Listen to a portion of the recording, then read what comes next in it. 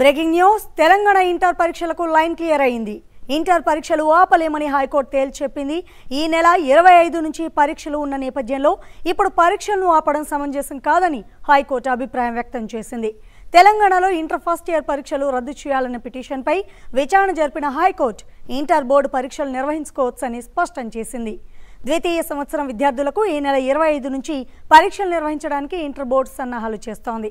అయితే పరీక్ష నిర్వహణను వ్యతిరేకిస్తూ విద్యార్థుల తల్లిదండ్రులు హైకోర్టులో పిటిషన్ దాఖలు చేశారు. దీనిని విచారణకు స్వీకరించిన హైకోర్టు ఇప్పటికే ప్రభుత్వం అన్ని రకాల ఏర్పాట్లు పూర్తి చేసిందని పిటిషన్ దాఖలు చేయడంలో ఆలస్యమైందని పేర్కొంది.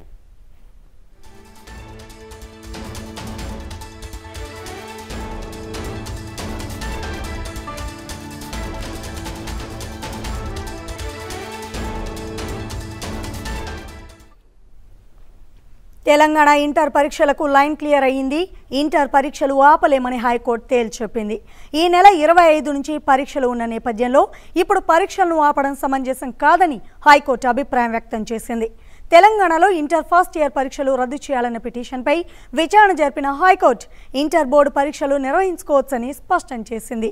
ద్వితీయ సంవత్సరం విద్యార్థులకు ఈ నెల ఇరవై ఐదు నుంచి పరీక్షలు నిర్వహించడానికి ఇంటర్ బోర్డు సన్నాహాలు చేస్తోంది. అయితే పరీక్ష నిర్వహణను వ్యతిరేకిస్తూ విద్యార్థుల తల్లిదండ్రులు హైకోర్టులో పిటిషన్ దాఖలు చేశారు. దీనిని విచారణకు స్వీకరించిన హైకోర్టు ఇప్పటికే ప్రభుత్వం అన్ని రకాల ఏర్పాట్లు పూర్తి చేసిందని పిటిషన్ దాఖలు చేయడంలో ఆలస్యమైందని పేర్కొంది.